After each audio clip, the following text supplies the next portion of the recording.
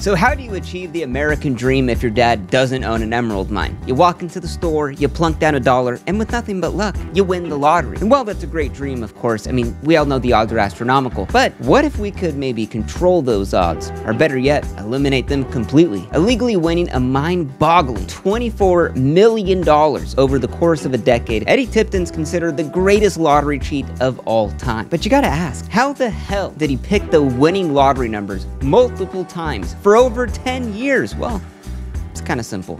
Eddie Tipton worked for the lottery.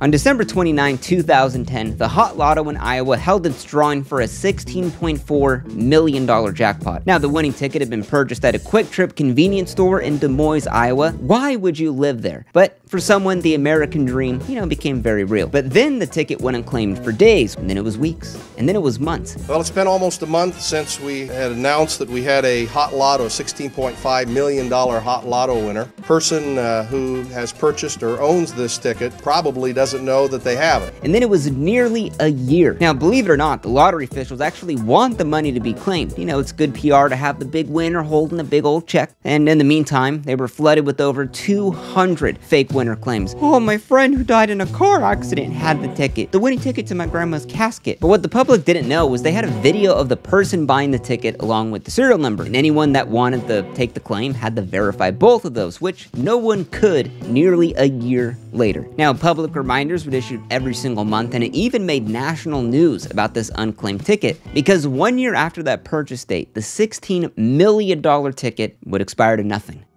Now, 30 days before the expiration date, Canadian attorney Philip Johnston called in and provided what no one else could, the correct serial numbers for the winning lottery ticket. And he had said he had purchased the ticket himself, but then said he could not personally deliver the ticket because he was too sick to come down from Canada. Maybe it sounds a little sketch, but they asked him what he wore on the day that he bought it, and Philip paused.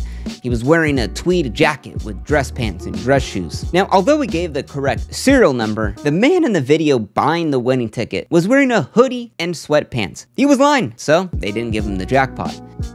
Now, a week later, Philip Johnston calls in again, but now with a different story, stating that he had actually told a little white lie, that it wasn't him that bought the ticket, but he was representing the winner of it, and he was a wealthy man who wanted to remain anonymous. Now, there's just one problem with that. It's against the rules of the Iowa lottery. All winners' names have to be made public, but they still didn't want to reveal the winner's name. But then on the final day, down to the last hour before the $16 million ticket expired, an attorney from New York shows up with the actual winning ticket in his hand. We've been looking for 365 days for this, and with one hour and 50 minutes left, uh, the two individuals you just met brought us the, what we believe is the winning ticket for the Hot Lotto uh, jackpot. But this time, the ticket was signed by a trust in the Belize, and the trust beneficiary was a shell company in Belize, and who was the president of that shell company? Oh, it was Philip Johnston the attorney that called in the first time. We've got to make sure that we're paying the right amount and the money to the proper and appropriate persons, so we are not paying this particular ticket today. Then, in a last-ditch effort, the attorneys asked if they could claim the money in cash and then turn it over to the state and they could give it to charity. But lottery lawyers declined based on concerns about the legality of the purchase, possession, and presentation of the ticket. We couldn't verify the winner. Now, the attorneys were so angry at this point that they actually threatened to sue the Iowa Lottery until the they realized that they would have to actually reveal the real winner's name in the court case. The lottery received yet another letter. The purchaser of the ticket has elected to remain anonymous and withdraw the claim. And to think all that person had to do was provide birth date and address, and they would have walked away with millions of dollars. And the $16 million jackpot went to no one. Now, why were they trying so hard to hide the name of this ticket winner? Was the real winner possibly murdered? Maybe a victim of blackmail? Or maybe even theft? Either way, the whole thing stunk, and the FBI was called in to investigate. Now, it seemed a bit strange when Eddie Tipton, the security director for the multi-state lottery, lived in a 8,500 square foot mansion decked out with a 20-seat custom home theater and a basketball court. Now, Eddie didn't make that much money. His coworkers at the lottery often wondered how the hell could he afford a baller mansion when he only made about $90,000 a year. Now he told his lottery coworkers that his house was just his one vice, and that even though he was single and in his 40s, that one day he was gonna have a huge family. And this story kind of made sense. It was 2007, a lot of people bought homes they couldn't afford. So no one, not even his coworkers at the lottery, suspected a thing.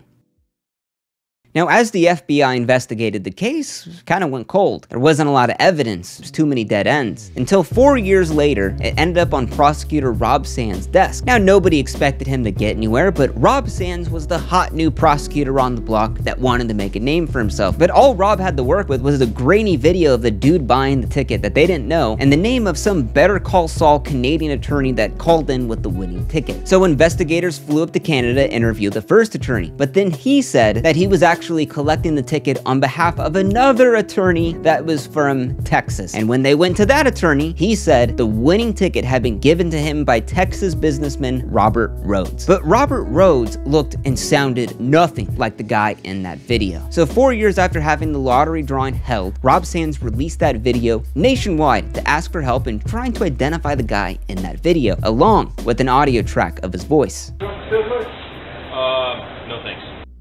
Now, within days, thousands of people called in to the FBI and sounded like my grandpa. Oh, it sounded like my coworker. But one name kept coming up. You see, dozens and dozens of lottery employees from across the country had called in and instantly recognized the voice as Eddie Tipton. But this was a little hard to believe. I mean, Eddie Tipton was the security director for the multi-state lottery, meaning he's the guy in charge of making sure no one cheated, and legally couldn't even buy lotto tickets. But what were the odds that Eddie Tipton could also pick the winning numbers? The coincidences were too far.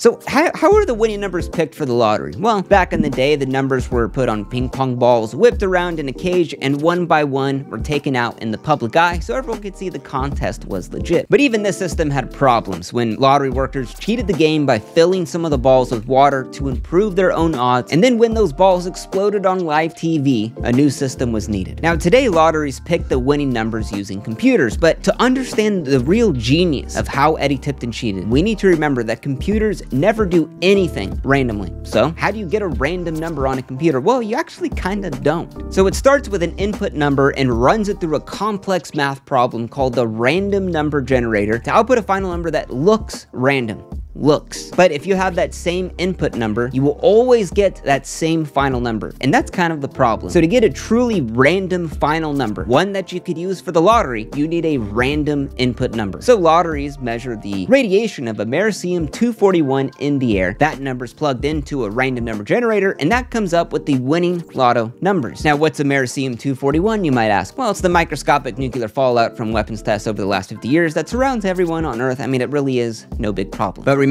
each time you take that same input number and run it through the math problem, you will always get that same final random number. So like in a perfect theoretical sense, it actually isn't random. But that was the crack that Eddie Tipton managed to exploit.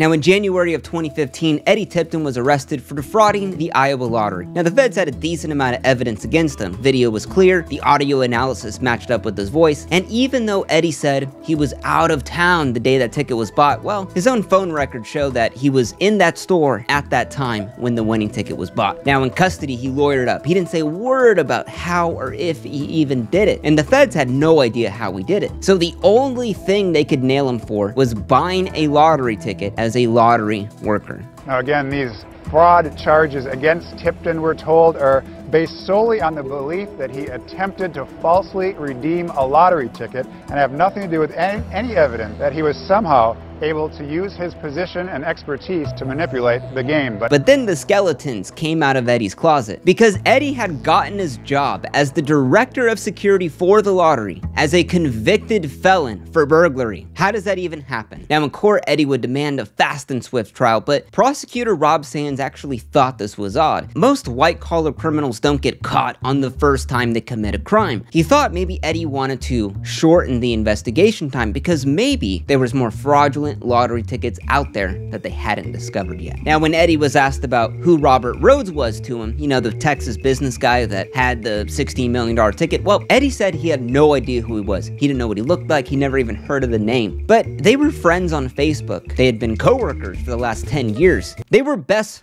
friends. When Eddie Tipton was asked what he did for work, he had failed to mention one little detail that he was the guy that wrote the program that picked the winning lottery numbers. Now, at this point, it looked like an inside job, or it was a huge amount of coincidences that had led Eddie Tipton's best friend to win the lottery. Now, there was one huge problem with this entire case. The computer that the numbers were used to pick the winning lottery numbers had been wiped clean three times over now, although there was no evidence about how this actually happened, the feds had a decent theory. Now, the Hot Lotto uses two computers that are locked in a room that only five people have access to. And you guessed it, Eddie Tipton was one of those people. Now, inside of that room, there's a locked plexiglass box that you need two keys from two employees to open up, and then they pick the winning lottery numbers. And this whole process is recorded on cameras 24 7. So, how could have this hacking been done?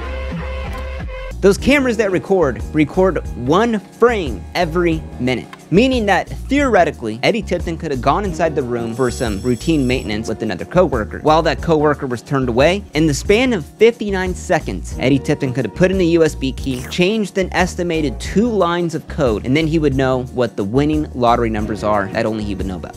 But in Eddie's defense, there was no evidence of any of this. All of the witnesses testified Eddie Tipton was the man in that video. Even the person that had sold him that lotto ticket and the hot dog said it was him. But Eddie Tipton's defense had a rebuttal to that. They said that that was actually impossible because Eddie Tipton is not a hot dog guy, that he's more of a jack in the box man. And honestly, I can tell.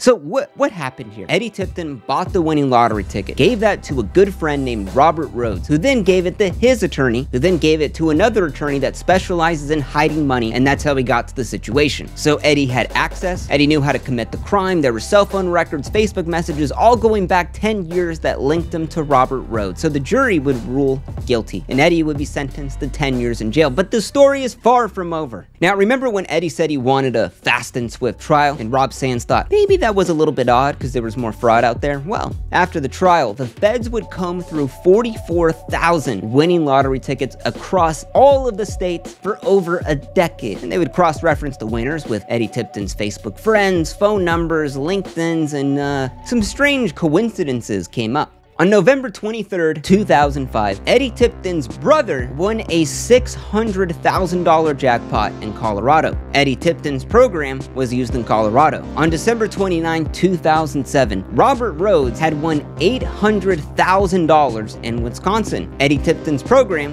was used in Wisconsin. On November 23, 2011, Kyle Kahn, who was a good friend of Eddie Tipton's brother, won $1.2 million in Oklahoma. Eddie Tipton's program was used there. And on December 29, 2010, in Kansas, Eddie Tipton's ex-girlfriend that he met on eHarmony won $22,000. Was all this a bit strange? Was this all just God's coincidences? Now, besides Eddie Tipton being the main connection, you might notice that it was only two dates that were winning, November 23rd and December 29th. Now, again, I mean, there was no evidence of this program until they found a storage unit that had had one computer that was used to do the winning lotto numbers in 2007. Right there in plain sight on the computer, they discovered the code that Eddie had actually used, and it was exactly how they theorized. On those two dates, it would put in a specific input number so that the random number generator would be something that Eddie always knew for the winning numbers for the lottery. So with enough evidence to tie him to five hack lottery drawings, Eddie Tipton finally confessed. Mr. Tipton, I'm Kim from KCCI. What's your reaction to the sentencing today? Shock. That's it. But Eddie claimed that he was never in the lottery scam business and actually said he was a accidental felon. He said one day he was playing around with the program and realized a crucial flaw, noticed he could exploit it, and then just left the hacked program there for over a decade. I mean, all the situation was was a geeky computer hacker who was just messing around with the program who's so genius that he just, oh, sorry. oh." And Eddie really believes this, stating, I'm a single guy making about a hundred thousand a year. I didn't need the money. With that, Eddie Tipton will be sentenced to 25 years in prison, which you would be surprised to learn Eddie's out on parole, and still claims that he had never done it.